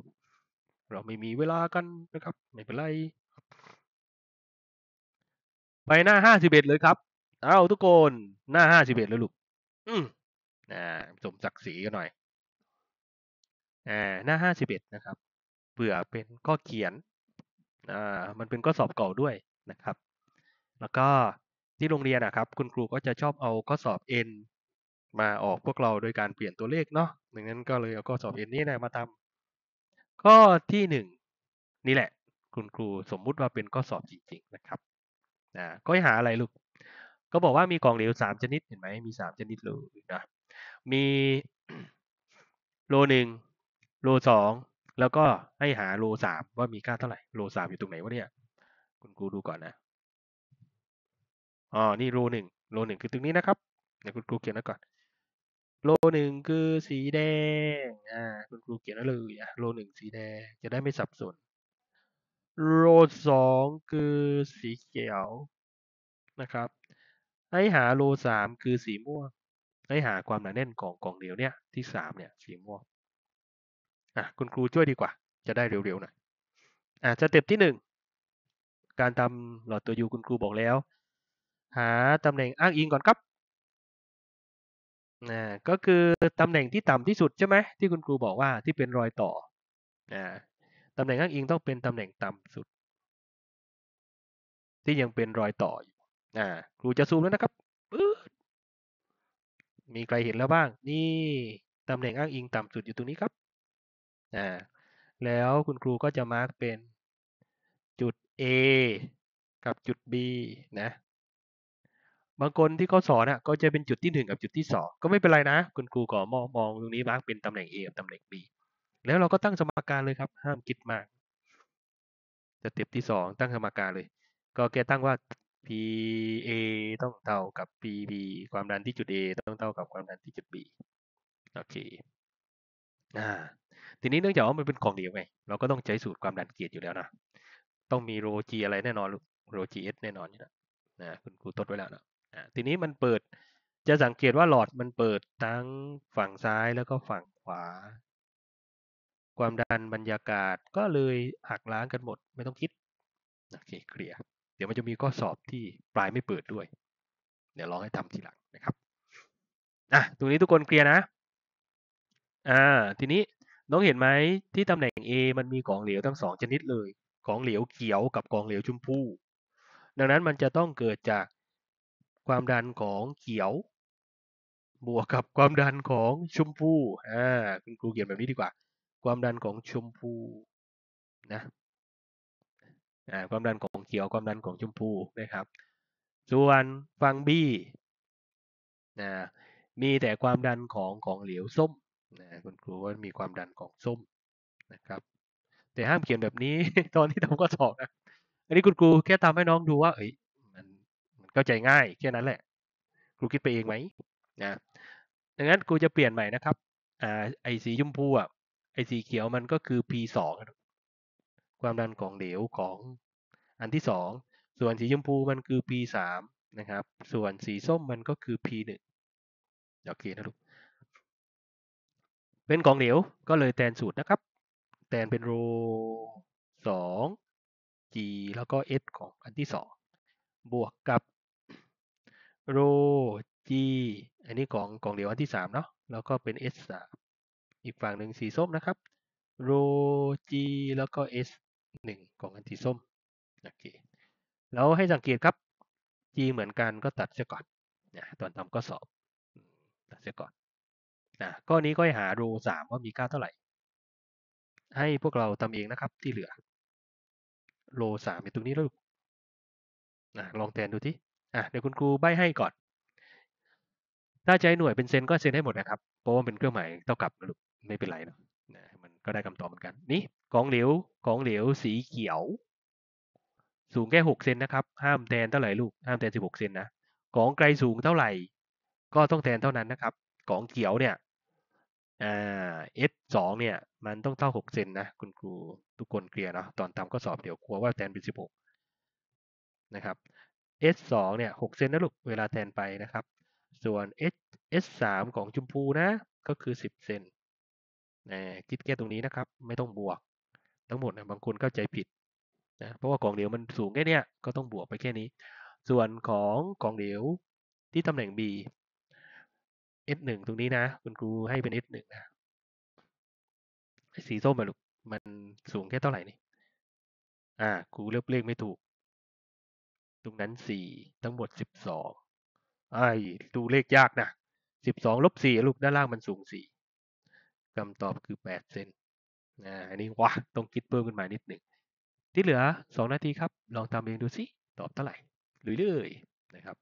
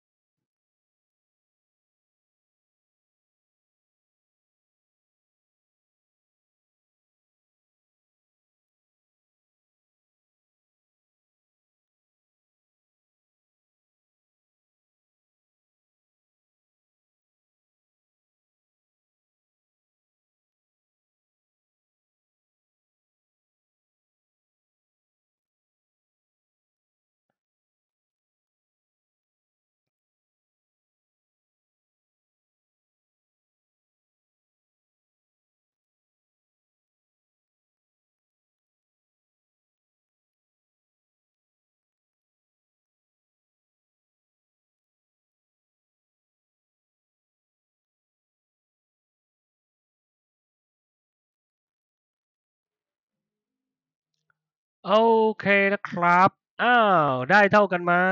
ทุกคนได้โรสามเท่ากับหนึ่งจุดสี่คูณสิบกำลังสามได้เท่าคุณครูไหมลูก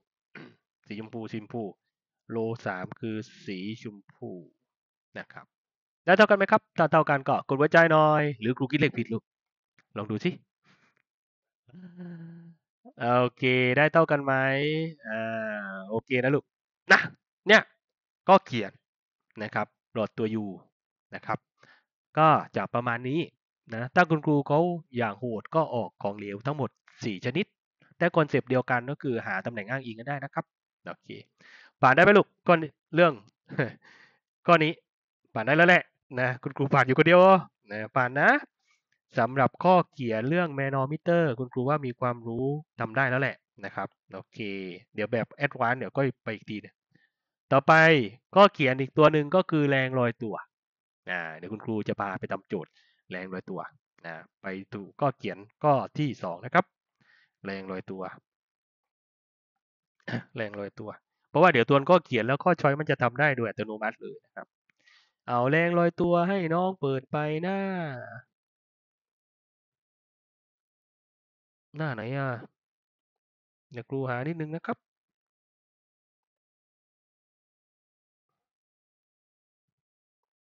อ่าอาร์คิมิดิสเปิดไปหน้าที่สิบเก้าครับนะข้ามไปข้ามมาไม่เป็นไรนะลูก หน้าที่สิบเก้านะครับอ่าหน้าที่สิบเก้าเรามาทบทวนเรื่องหลักการอาร์คิมิดิสนิดหนึ่งนะครับนี่อันนี้เขียนไว้ดีมากเลยในชีทนะครับ หลักการอาร์คิมิดิสก็คือ วัตถุที่จมในของเหลวทั้งก้อนย้ำนะครับ ต้องจมทั้งก้อนนะลูกนะหรือจมบางส่วนนะ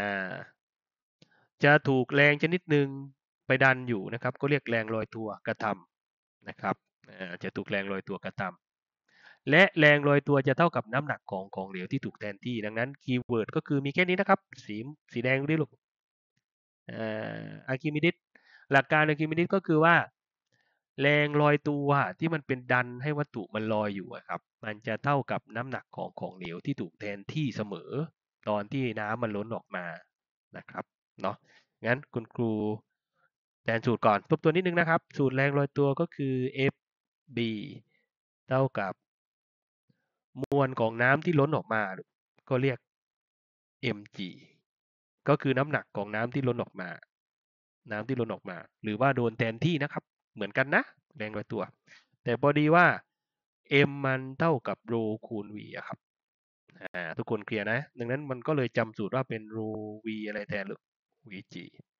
อ่าทุกคนเคลียร์ นี่ก็คือสูตรแรงลอยตัว f เท่ากับโร vg นี่เสร็จนะคุณครูผ่านนะครับทวนสูตรเสร็จแล้ว เนี่ยงั้นเดี๋ยวเวลาเราไปเจอข้อสอบทุกคนจะต้องซ้อมวาดให้มันเสียนด้วยเหตุผลตรงนี้นะ คุณครูระบายสีชมพูก่อนสีชมพูเนี่ยก็คือ v ส่วนที่จมนะครับแต่ทั้งหมดเนี่ยวัตถุมันจะมีปริมาตรตั้งก้อนเลยทุกคนทุกคนเคลียร์นะลูก ปริมาตรตั้งก้อนนี้คุณครูใช้เป็น v วัตถุนะอ่าน้องต้องแยกให้ออกนะลูก v จมกับ v วัตถุอ่า v จมกับ v วัตถุ มันคนละอันกันนะครับ โอเค เวลาวัตถุมันอยู่ในน้ำเนี่ย มีแรงอะไรกระทำบ้าง ทุกคนต้องเคลียร์นะครับ มันจะมีน้ำหนักของวัตถุก็คือ mg แล้วก็มีแรงที่ดันให้มันลอยขึ้นมา เนี่ยดันไปอย่างเนี้ยก็เขียนดันตรงนี้ก็ได้นะ ก็คือแรงลอยตัว อย่างกรณีนี้มันอยู่นิ่งๆแบบเนี้ยน้องก็สรุปเลยตอนอยู่นี่ไง แรงขึ้นเท่ากับแรงลงก็เนี้ยแรงลอยตัวเท่ากับน้ำหนักของวัตถุเลย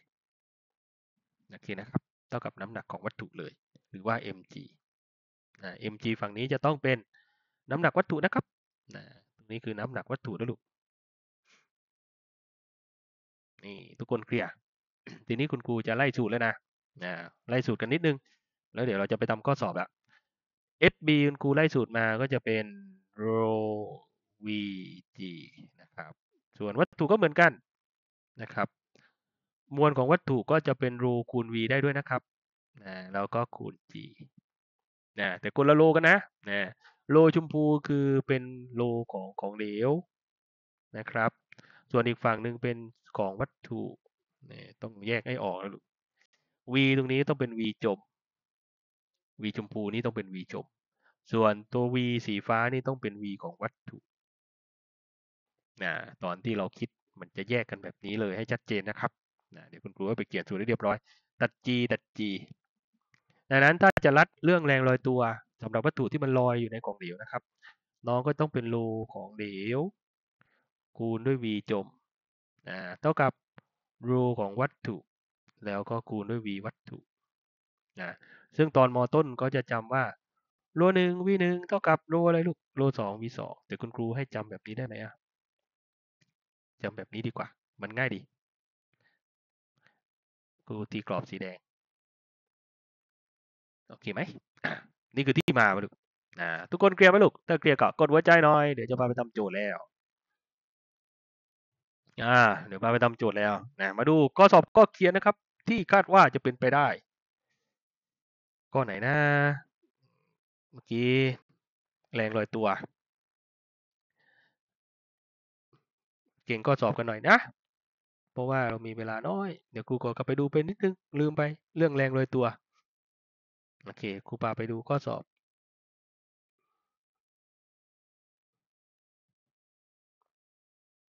ไม่รู้สไตล์ไหน แต่น่าจะมีสักสไตล์หนึ่ง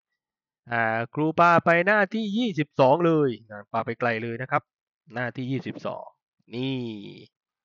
ก็ที่เท่าไหร่ดีอะ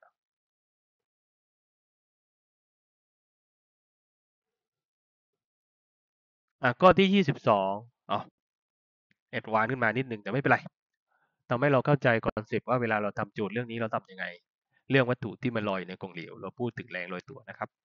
ข้อที่ห้าหน้าที่ยี่สิบสองนะโอเค นี่ครูยังไม่ได้น้องพักทีเหรอไว้นะลูก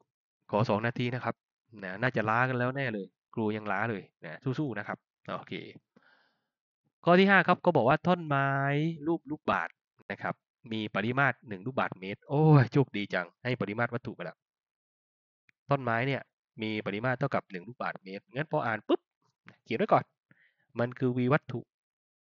อ่ารอดไปได้ปริมาตรวัตถุไปแล้วหนึ่งลูกบาศก์เมตรนำไปลอยในน้ำนะครับเนี่ยลอยแล้วยังมีการกดแรงด้วยนะครับอืมอย่างโหดเลยลอยแล้วก็กดแรงลงไปสองกิโลนิวตันระวังนะครับระวังน้องครับสองกิโลนะลูกสองกิโลนิวตันสองคูณสิบกำลังสามนิวตันนี่พบว่านะก็บอกแล้วนะครับ พบว่าผิวบนอยู่สูงจากระดับน้ำยี่สิบเซน นี่ ผิวบนอยู่สูงจากระดับน้ำยี่สิบเซนนะครับ จงหาความถ่วงจำเพาะของท่อนไม้นะเวลาอ่านข้อสอบนะครับเขาถามว่าความถ่วงจำเพาะของท่อนไม้มันคือความหนาแน่นของต้นไม้อะครับนะเหมือนกันนะลูกก็อันเดียวกันนะครับ ก็คือความหนาแน่นของท่อนไม้ข้อนี้ให้หาความหนาแน่นของท่อนไม้นะครับ อ่านโจทย์เรียบร้อยแล้วนะ ท่อนไม้มันเป็นรูปลูกบาศก์เลยนะครับนะเพราะว่าหนึ่งลูกบาศก์เมตร ก็คือกว้างหนึ่งลูกบาศก์เมตร ยาวหนึ่งลูกบาศก์เมตรนะครับสูงหนึ่งลูกบาศก์เมตร ดังนั้นมันลอยน้ำอยู่ยี่สิบเซนแสดงว่ามันจมอยู่กี่เซนครับ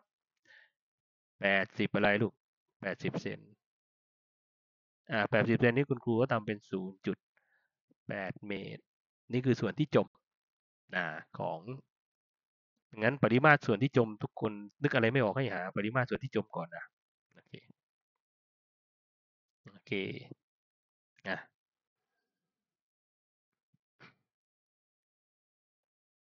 ทุกคนเข้าใจโจทย์แล้ว เริ่มแล้วนะครับ สิ่งที่ต้องเริ่มก็คือไม่ต้องคิดมากครับ วาดรูปแล้วก็ใส่แรงแรกหรอลูกหนึ่งใส่ mg อืมเพราะว่ามันมีน้ำหนัก ต่อไปที่สองแรงที่กระทำต่อกรองอันนี้ก็คือแรงลอยตัว fb แล้วไอ้ต้นไม้นี่มันอยู่นิ่งนะเราก็เลยเข้าสู่วิชาฟิสิกส์เรานะครับ แรงขึ้นเท่ากับแรงลงครับนะแรงขึ้นเท่ากับแรงลง แรงชี้ขึ้นมีแรงเดียวก็คือ fb แรงที่ชี้ลงมีสองตัวนะครับ มีสองกิโลนิวตัน นี่สองกิโลนิวตันอยู่ตรงนี้นะ สีเขียวลูกสีเขียวสองกิโลนิวตัน มันชี้ลง แล้วก็อีกแรงหนึ่งก็คือ mg นะครับ ก็คือเป็นน้ำหนักของวัตถุ ไล่มาอย่างนี้ โอเคไหมอะต่อไปสูตรแรงโดยตัวมีอยู่แล้วนะครับโรอะไรลูกโร v g อ่าโร v g โร v g นะเท่ากับสองคูณสิบกำลังสามแล้วก็มวลของวัตถุเนี่ย m มันคือโลคูณ v นะเราก็แทนเป็นโร v แล้วก็ g โรอบนี้ตัดอะไรทิ้งไม่ได้เลย ต้องแทนครบหมดทุกอย่างเลยบ้าจริงอ่าไม่เป็นไรนะครับแต่ฝั่งนี้ต้องเป็นของวัตถุนะอ่าฝั่งนี้เป็นค่าที่เกี่ยวกับของเหลวนะ แยกให้ออกแล้วลูกอย่าสับสนนะอ่าดังนั้น v ตัวนี้ต้องเป็น v จมนะครับอ่าฝั่งนี้ต้องเป็น v วัตถุอ่าอันนี้ก็ต้องเป็นวัตถุ อันนี้ต้องเป็นของเหลวโอเค ลองทำเองดูไหมนะลองดูหน่อยก็ได้ครับ ก่อนที่เราจะพักสิบนาที คุณครูช่วยตั้งอันนี้ ข้อนี้ต้องหาอะไรก็คือหาความหนาแน่นของต้นไม้ก็คือวัตถุ สีฟ้าที่คุณครูวง ก็คือเนี้ยค่อยหาเนี่ยลูกอ่าโอเคอะคุณครูลองให้พวกเราโซโล่ด้วยตัวเองดูนะครับ ช่วยไว้แค่นี้ใช่ไหมที่เหลือไม่ช่วยแล้วนะเอาลูกห้ามเกินสามนาทีลองทำดู เอาปากกาเอาอะไรมาขีดขีดขีดเขียนหน่อยครับ เพราะว่าได้ฝึกด้วยตัวเองเนี่ยมันจะจำได้นานมากกว่าลุยเลยฮะ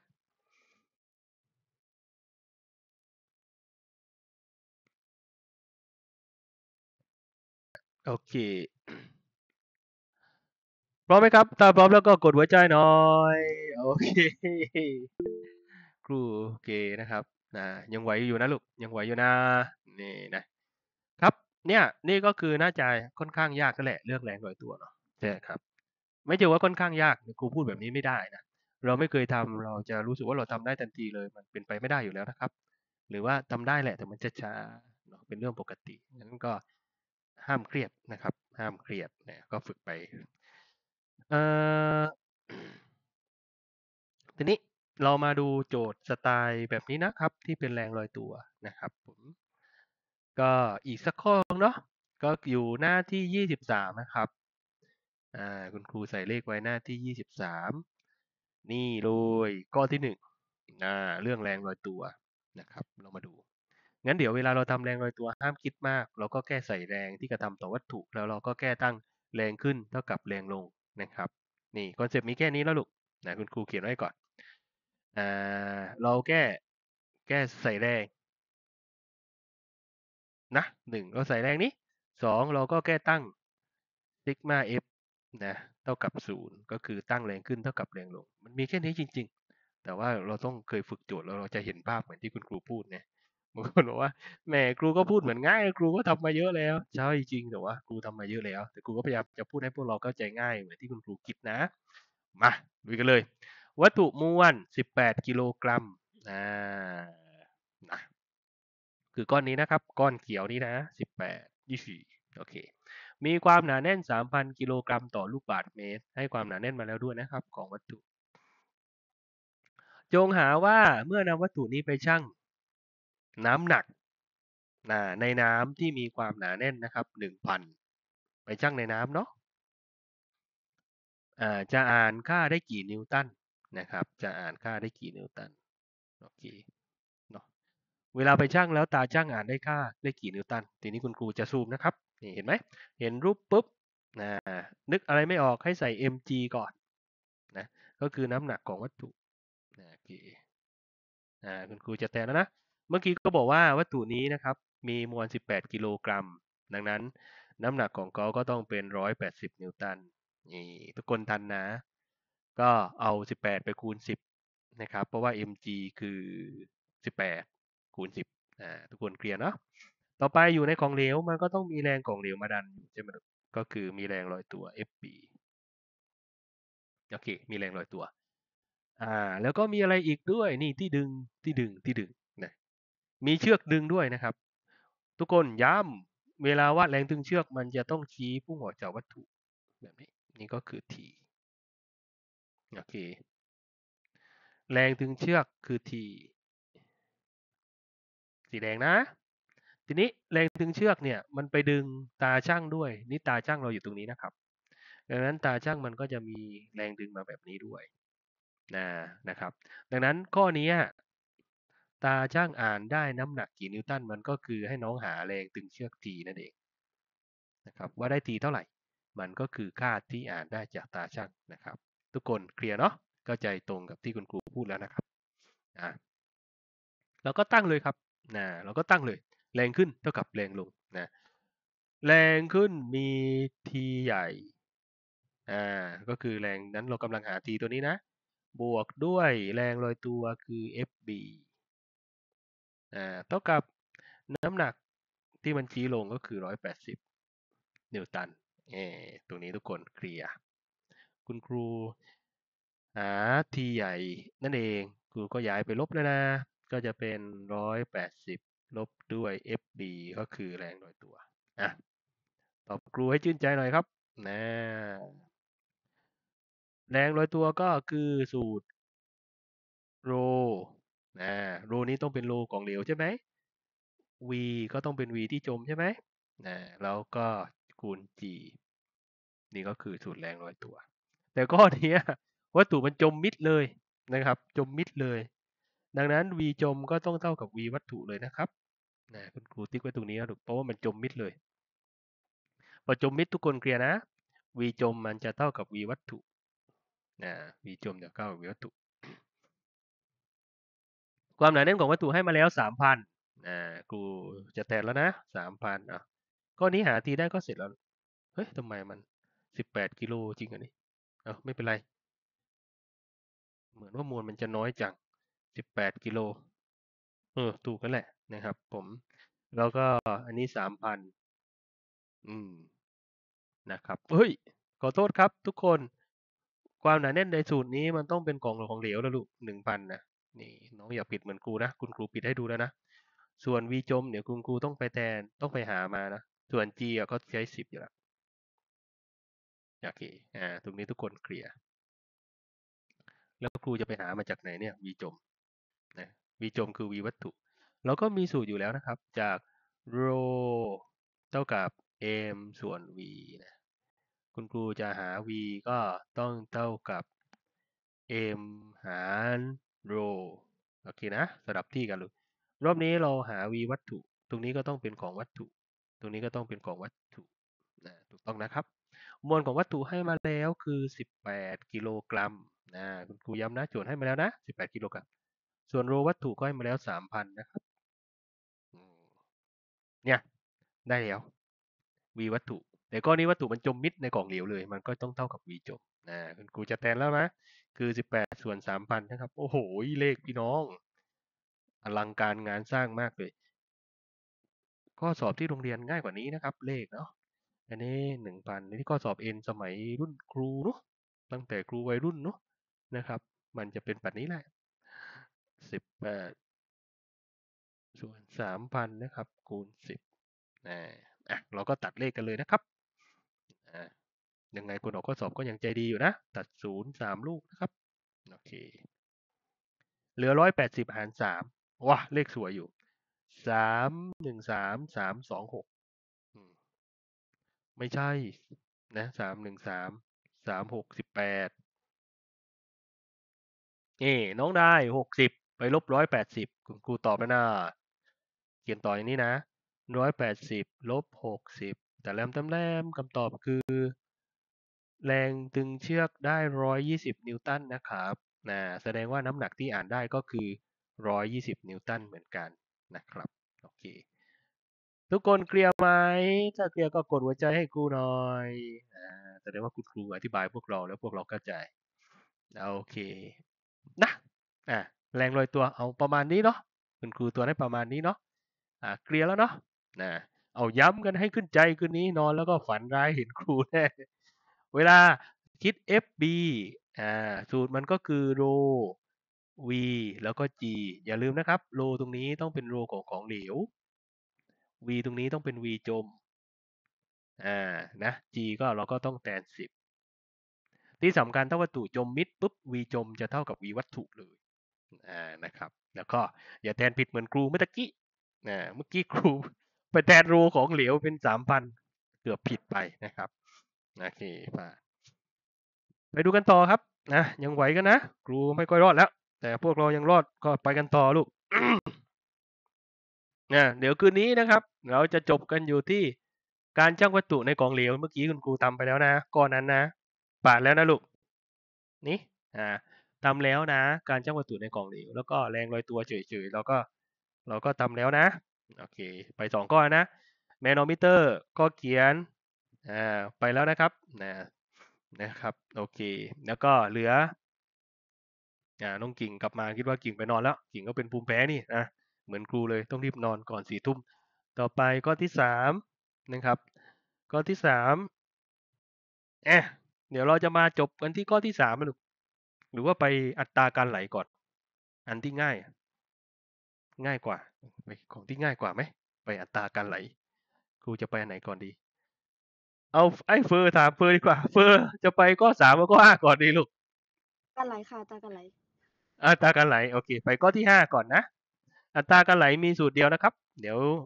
คุณครูก็บอกมาแล้วก็ไม่ออกเรื่องเบรูนีออกแต่เรื่องเนี้ยออกแต่สูตรเนี้ยอัตราการไหล สิ่งที่ต้องเคลียร์ก็คือ A คือพื้นที่นะลูก พื้นที่ มันมีท่อใช่ไหมมันมีท่อให้น้ำไหลอ่าคอนเซปต์มีแค่นี้นะครับ เดี๋ยวพอเราเราไปทำโจทย์นึกถึงท่อน้ำท่อน้ำที่น้ำออกแล้วขนาดมันไม่เท่ากันนี่แต่ว่าอัตราการไหลมันเท่ากันตลอดเลยครับเนาะอัตราการไหลเนี่ยในสูตรเราเราใช้เป็นตัว Q แล้วตำแหน่งที่หนึ่งอัตราการไหลที่ตำแหน่งที่หนึ่งกับ อัตราการไหลที่ตำแหน่งที่สองมันจะเท่ากันหมดเลยนะครับ มันจะเท่ากันหมดเลยเนาะโดยที่ ตรงนี้น้องก็มีพื้นที่อยู่นะครับ พื้นที่ A หนึ่งอีกฝั่งหนึ่งก็พื้นที่ A สองนะพื้นที่ที่ให้ของเหลวไหลนะครับ แล้วที่ตำแหน่งที่หนึ่งมันก็จะมี V หนึ่งแล้วก็ตำแหน่งที่สองก็กองเหลวไหลก็จะเป็น V สองนะครับนะวิธีการคิดอัตราการไหลก็คุณครูเคลียร์ concept ก่อนนะ น้องก็แค่เอาพื้นที่ที่หนึ่งไปคูณกับความเร็วของของเหลวในบริเวณที่หนึ่งไปจับเท่ากับพื้นที่ของบริเวณที่สองนะแล้วก็คูณด้วยความเร็ว v ที่ส อะคอนเซปต์มีแค่นี้ครับ นึกถึงท่อน้ำนะนะผมน้องไปสับตรงไหนก็ได้ในท่อน้ำที่น้ำไหลอะมันเท่ากันหมดเลยอัตราการไหล อันนี้เป็นกล่องเหลวในอุดมคตินะครับ เราคิดว่ากองเหลวมันไม่ได้หมุนในท่อน้ำแล้วก็ไม่มีแรงเสียดทานอะไรทั้งสิ้นนะลูกนะอันนี้คืออุดมคติล้วนๆกล่องจริงไม่เป็นแบบนี้นะเราเรียนกล่องอุดมคติ มาพาไปทำโจทย์สักข้อก่อนนอน อืมเดี๋ยวครูหาก่อนนะ นี่ถ้าเราได้ทำหมดทุกข้อนะเนี่ยทำได้เต็มแน่นอนเลยใช่ไหมไม่เป็นไรนะ เรามีเวลาแค่นี้เราก็เอาเท่านี้นะลูกน่าจะมีสักข้อหนึ่งเนี่ยคุณครูดูนิดนึง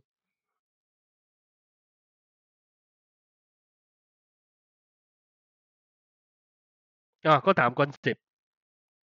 นะครับนะคุณครูพาไปดู concept ก่อนก็ได้ อยู่หน้าที่ อันนี้ต้องคิดแบรูนี่ไหมเดี๋ยวคุณครูกำลังคิดดู บางข้อมันต้องคิดแบรูนีด้วย หน้าที่ 42 ครับ หน้าที่ 42นะเราไปดูคอนเซปต์ก่อนเผื่อก็เผื่อน้องไปเผื่อคุณครูเขา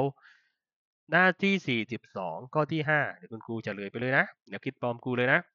จากรูปเป็นการไหลนะครับ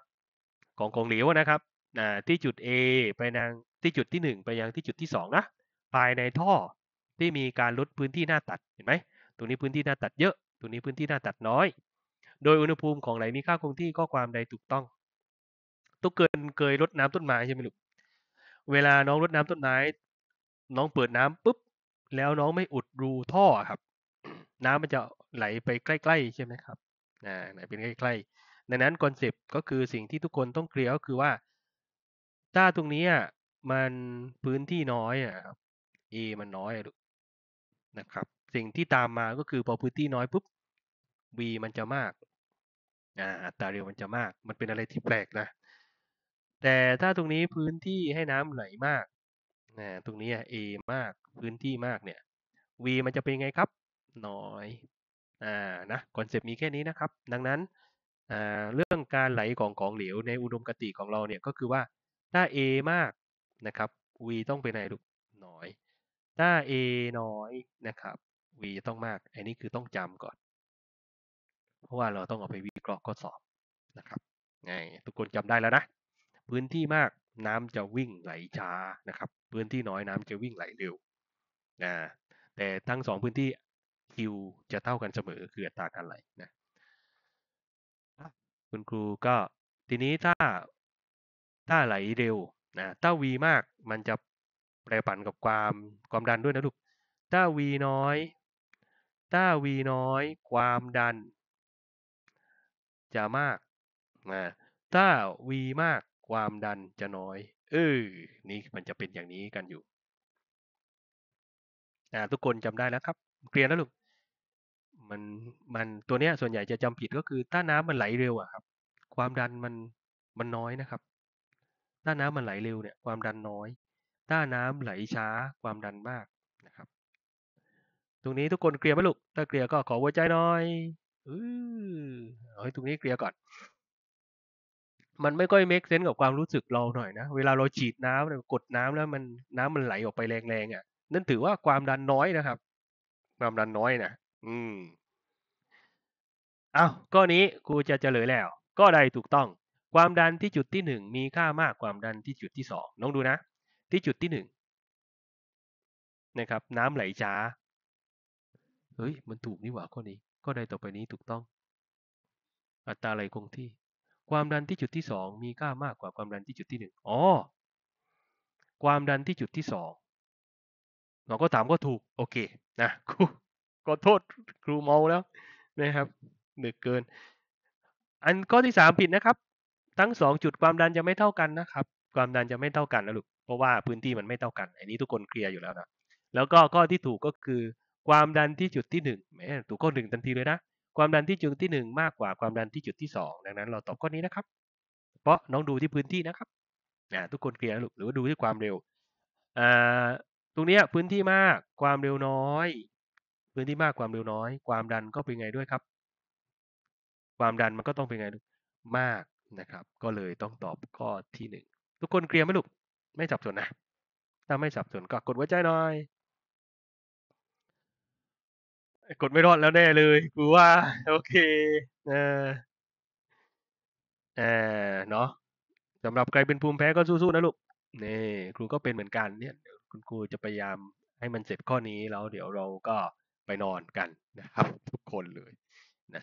เดี๋ยวพอน้องนอนแล้วเดี๋ยวถ้าน้องได้นอนเดี๋ยวน้องจะจำได้นะครับ สิ่งที่น้องเรียนไปคืนนี้เดี๋ยวสมองมันลำดับเองแหละน้ำไหลในท่อ A นะมาแล้วก็สอบมาแล้ว น้ำไหลในท่อ A นะครับ ด้วยความเร็ว 10 เมตรต่อวินาทีนี่ตรงนี้ท่อตรงนี้นะครับโอเคคุณครูก็เขียนไปแล้วนะว่า คุณครูให้เป็น v 1นั่นเลยนะ10 เมตรต่อวินาที เข้าสู่ท่อ B ตรงนี้ท่อ B ตรงนี้ท่อ B ท่อเล็กเห็นไหมนะครับ โดยที่เปิดอยู่ตรงนี้เลยนะครับ โดยท่อ A มีเส้นผ่าศูนย์กลางนะครับ10เซนติเมตรท่อ A มีเส้นผ่าศูนย์กลาง 10 เซนติเมตร ก็รัศมีเท่ากับ 5 นะครับ นะรัศมีเท่ากับ5ท่อที่ตำแหน่ง A นะ แล้วก็ท่อ B มีเส้นผ่าศูนย์กลาง5เซนติเมตรท่อ B มีเส้นผ่าศูนย์กลาง5เซนติเมตรรัศมีของท่อ B มีค่าเท่ากับ โอ้ห้าส่วนสองขอเขียนห้าส่วนสองเลขไม่ค่อยสวยเท่าไหร่อ่าตามลำดับความหนาแน่นของน้ำคือหนึ่งคูณสิบยกกำลังสามความดันอากาศนะครับ คือหนึ่งคูณอะ หนึ่งจุดจุดหนึ่งคูณสิบกำลังห้านะจงหาความดันก็ตามเราว่า จงหาความดันที่จุด A แล้วก็ความเร็วของน้ำที่จุด B โอ้แวรูนีข้อนี้นะครับไอ้ยาข้อนี้ครูจุติไม่ออกนะลูกโอเค ครูไม่ทำนะขอโทษนะครับเนาะอ่ามันต้องคิดแบรูนีนะครับ ซึ่งไม่ออกดีใจด้วยโอเค ครูต้องหาข้อใหม่ครูอีกแล้ว ครูหาข้อไหนดีเนี่ย หายากจังก็สอบที่ไม่มี แบรูนี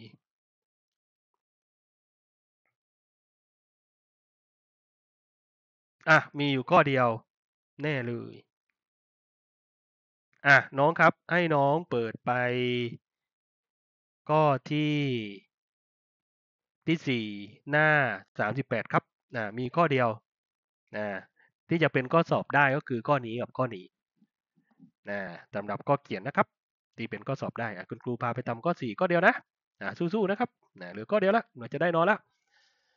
อ่าท่อประปารูป A นะครับ รูป A ตรงนี้นะครับ มีพื้นที่หน้าตัดสี่ตารางเซนติเมตรอ่ามันเป็นอันใหญ่เลยอะลูกคุณครูให้เป็น A ใหญ่เลยนะ A ใหญ่เท่ากับสี่นะหรือว่า A หนึ่งก็ได้ แล้วก็ B มีพื้นที่หน้าตัดหนึ่งตารางเซนติเมตรนะก็เป็น พื้นที่หน้าตัดที่สองอยู่ที่ตำแหน่ง B ก็ให้เป็นหนึ่งนะอ่านอย่างนี้นะ วัดอัตราเร็วที่จุด A ได้ 1.2 เมตรต่อวินาทีอ่าที่จุด A ตรงนี้นะครับ คุณครูให้เป็น V1 นะ เป็น 1.2 เมตรต่อวินาทีคำถามคืออัตราการไหลในท่อเขาถามอัตราการไหลในท่อนะแล้วก็อัตราเร็วของกล่องไหลที่จุด B มีค่าเท่าไหร่ อัตราการไหลก็ใช้เป็นตัว Q นะครับ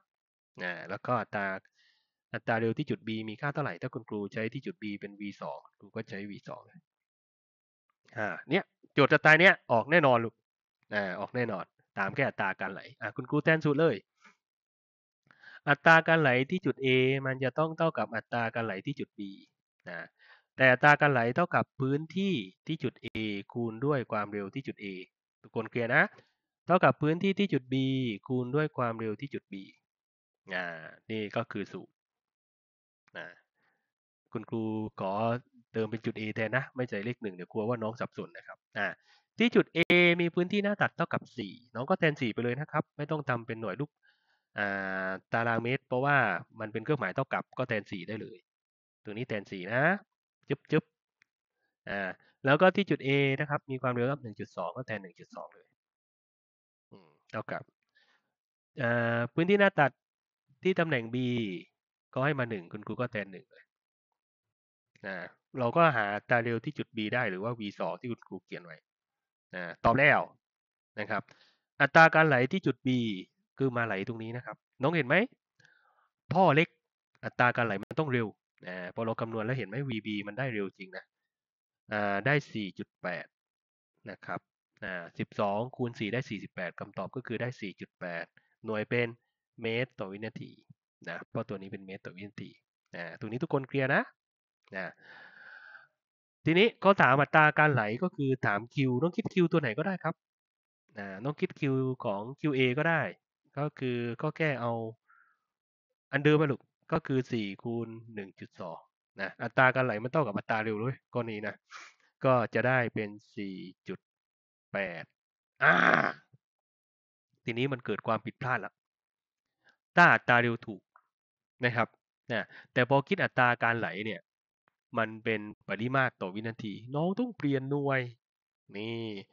ถ้าจะแทนหาอัตราการไหลน้องต้องเปลี่ยนหน่วยนะครับ เปลี่ยนหน่วยตรงไหนรู้ไหมก็คือตัวตรงนี้มันก็คือพื้นที่ที่ A แล้วก็ความเร็วที่ A กูกูต้องเปลี่ยนอะ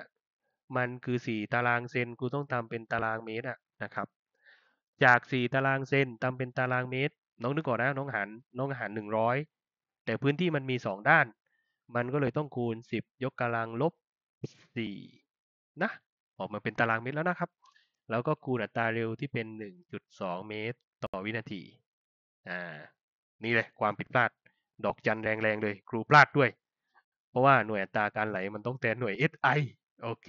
แต่ตอนเราเขียนกรรมการนั้นได้เลย เพราะว่าซ้ายกับขวามันตัดกันได้ใช่ไหม ตอนที่มันเป็นหน่วย หน่วยเลขสี่หน่วยตัวเนี้ยหรือหน่วยพื้นที่อะนะครับโอเคทุกคนเข้าใจที่คุณครูพูดนะจะยังอยู่กันนะครับ ยังอยู่กันนะนะข้อนี้ก็เลยต้องตอบเป็น 4.8 คูณ 10 ยกกำลังลบ 4 อัตราการไหลมีหน่วยเป็นอะไรหรอ มีหน่วยเป็นลูกบาศก์เมตรครับ ต่อวินาทีนะนะลูกบาศก์เมตรต่อวินาที ก็ตอบแล้วข้อนี้ เนี่ยสไตล์นี้ครับ ในห้องเรียน เวลาสอบประมาณนี้นะครับ ออกแค่นี้สูตรนี่ทุกคนเคลียร์ไหมลูก ถ้าเคลียร์ก็กดหัวใจหน่อยอ่าอะก่อนนอน คุณครูทบทวนนะ สูตรอัตราการไหลก็คือ q 1 เท่ากับ q 2 นะ แล้วก็หนูสูตรมันอะ มันต้องปริมาตรส่วนด้วยเวลานะครับ ดังนั้นมันจะเป็นลูกบาศก์เมตรต่อวินาทีนะลูกถ้าหน่วยของอัตราการไหลอะ แต่ตอนน้องแทนสูตรอะมันจะเป็น a 1 v 1 เท่ากับ a 2 v 2อ่าตอนที่แทนตรงนี้ไม่ต้องคิดมากก็คือแค่หน่วยซ้ายกับหน่วยขวาเท่ากัน แล้วเราก็จะได้คำตอบออกมานะครับว่างๆลองไปคิดข้อที่ 5 ดูนะครับเผื่อมันเป็นข้อสอบปลายภาคพอดีเป๊ะเลยใครจะไปรู้เนาะเพราะเป็นข้อสอบเอ็นของหมดเลยนะครับ โอเคครับ เดี๋ยวพรุ่งนี้เจออีกสักยกหนึ่งนะ คุณครูทวนก็เขียนไปให้ได้ทั้งหมด 4 ข้อล้วนะเหลืออีกหนึ่งข้อแล้วก็กับข้อช้อยน่าจะน่าจะได้พรุ่งนี้ทัน นะครับเดี๋ยวถ้าใครอ่านมาก่อนก็ดีนะนะครับจะได้โอเคสำหรับคืนนี้พักผ่อนเยอะๆนะครับเนาะอ่าคุณได้ทุกคนแล้วลูก สวัสดีครับผู้เอกคะครับเฟอร์ถามเลยลูกผู้จุติชอบพูดเรื่องอ่าแรงกระทำเหนือเขื่อนนะคะมันแต่แกไม่ได้ขยายความต่อขนาดนั้นเท่าไหร่ อ่า มันออกพรุ่ก็งนี้ได้ครับ เดี๋ยวพรุ่งนี้คุณครูสอนให้ลูก เดี๋ยวเราทำโจทย์สักข้อได้เลย น้องเฟอร์ติ๊กไว้นะพรุ่งนี้จะให้คุณครูสอนอะไรบ้าง หรือว่าพิมพ์ไว้ก่อนก็ได้ครับ ทุกคนเลยนะลูกพรุ่งนี้อยากให้ครูอธิบายเรื่องไหนพิมพ์ไว้ก่อนพิมพ์ไว้ก่อน หรือว่าติ๊กไว้ในไลน์กลุ่มเรานะครับเดี๋ยวคุณครูจะมาไล่ทวนให้หมดเลยโอเคไหมมีตรงไหนอีกบ้างไหมลูกที่จะถามคุณครูถามได้เลยครับ ก่อนเราไปนอนกัน